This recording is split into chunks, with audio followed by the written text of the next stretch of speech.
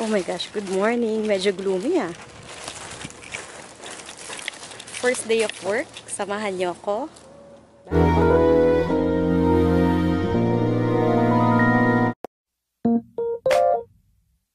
Just imagine. I know you want it. The following day, I spent the night in Male kasi medyo late na ako nag-arrive last night. So, the next day, I have to take this early morning ferry papunta sa resort kung saan ako nag-work.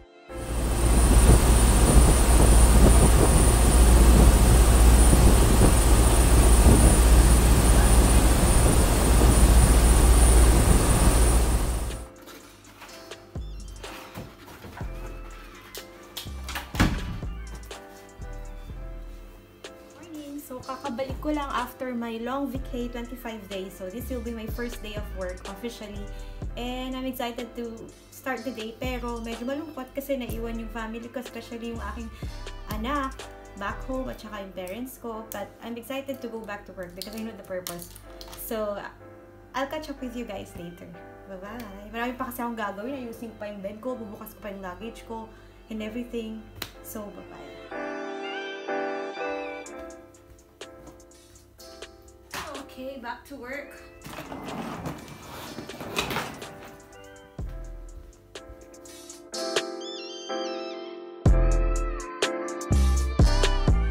So, ayan, kakarating ko lang. Mag-unboxing ako, pero hindi PR. Wala, unboxing ko yung mga luggage ko. Tapos, habang ginagawa ko yun, kasi namimiss ko na yung Pilipinas, ah, ayan. Panoorin ko muna si Ann Clatz. Sinasamahan ako ni Ann while doing this. So, I'll catch up with you guys later. Bye-bye! Wala kasi akong kasama dito eh. So, siya yung sumasama sa akin. Yan na ako sa pagliligpit. Ito yung dinala ko from Philippines. Ito na lang yung last. Ito yung Unclots brushes. Thank you very much, Unclots, for this. Na-appreciate ko talaga. Sobrang thank you. Sobrang thank you for this. Ah, re-review at saka gamitin ko sa, to sa lahat ng mga makeup tutorial ko. At saka, I'll make sure na may maganda exposure siya bago ko siya magamit. Ah, pipicturean ko siya sa lahat ng part ng resort para maganda. Tapos, ito, kasi gagawa ako ng bagong video na subukan natin ang mga paborito ni Unclats. Ah, isa sa mga favorite niya doon, na wala ako, ah, itong all-nighter. Ito yung ginamit niya, Defense Makeup Setting Spray ng Naked. Wala pa ako nito eh. So, binili ko siya sa airport kahapon. Binili sa Pilipinas. Ayan, ganyan siya kadami.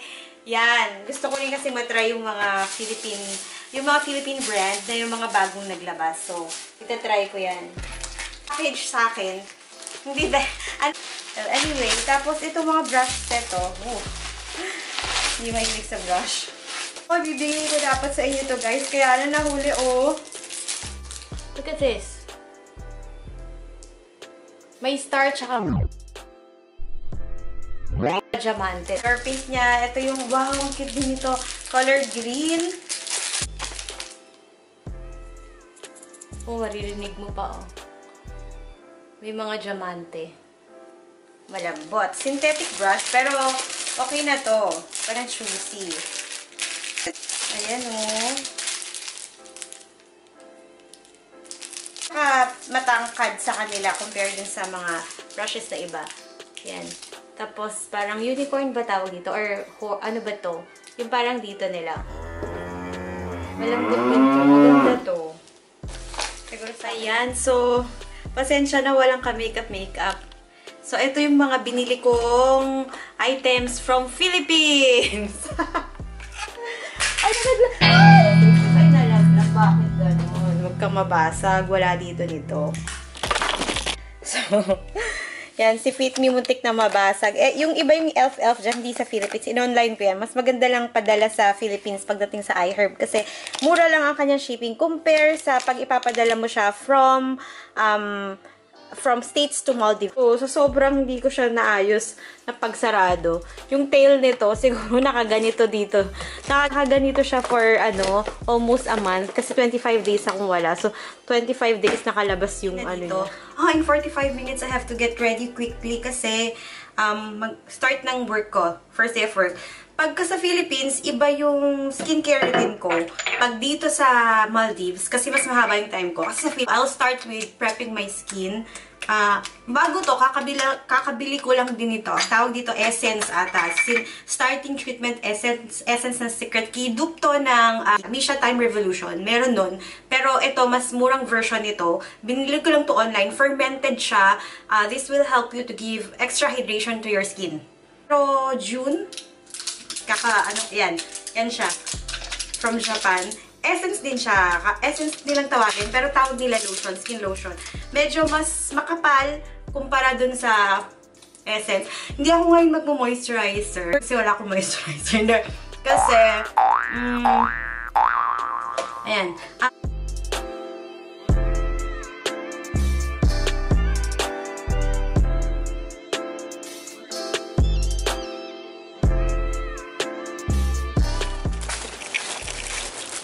First day of work. Oh my gosh, good morning. Medyo gloomy ah. First day of work. Samahan niyo ako. Bye.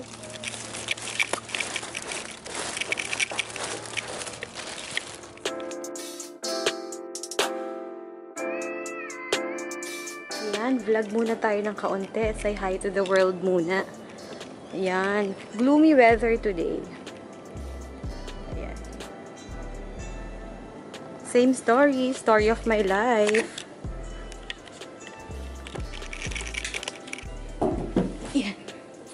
Trabaho na naman tayo. Start na naman tayo ng ating trabaho, reality of life, not a full-time YouTuber, pero uh, really, I'm an of- OFW of Maldives. So, ito ang aking trabaho at ito ang aking workplace. So, welcome to Maldives!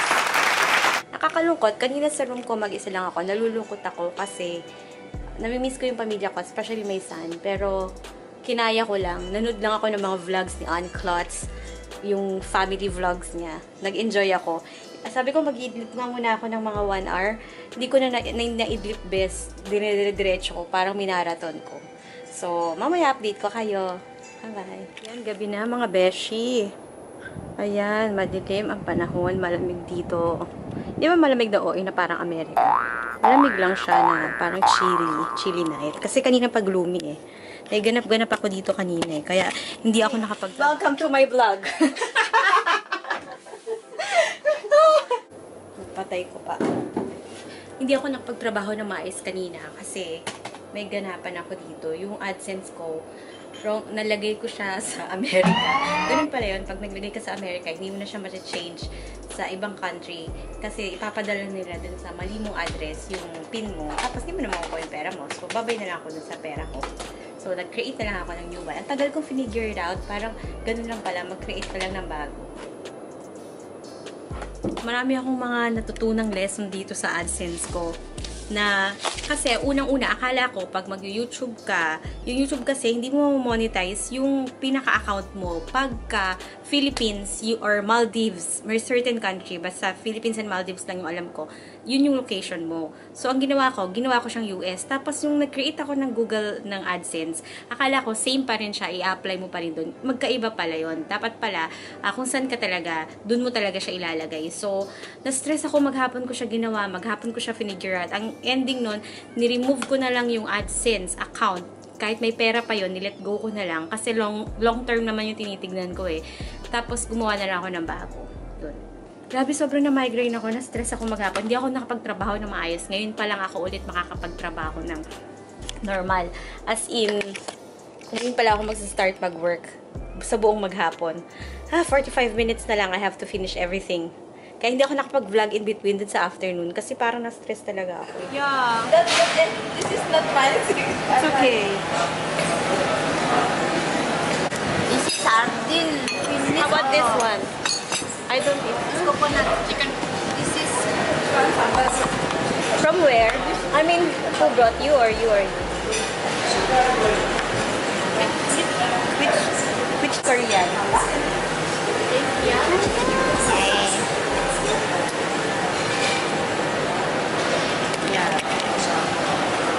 Let's create a new one. No, I know. You know the SOP. We're about to reach Manila. Five, uh, four hours are flight. Three hours already on the, on the very top. I guess. Amo. and then my family are waiting already. But we cannot text them because we're on up, no? They were just like delay, delay. Yeah, they have, of course, yeah. They thinking, thinking, why not come Uh-uh. back like that, no? Once we landed to Singapore again, then we had internet na, then we sent message. that Everybody, actually no one's complaining. It's just their, it's dead, no? The, first, the pilot said, um, um, we're sorry to inform you that we will go back to Singapore because we have, we're trying to revive the patient. Okay, emergency. Ah, they're trying still, but then uh, I think why? Because it's already closer to Manila. Why not to Manila? Because we are came from. And they are not, they are not, they are not, uh, um, Filipino citizens.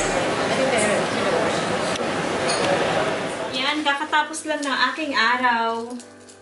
Grabe guys, ngayon nakaka hindi siya nakakapagod eh, wala masyadong ginawa. Kaya nakaka-stress kasi yung Google AdSense ko talaga grabe. Sumakit talaga yung banks ko.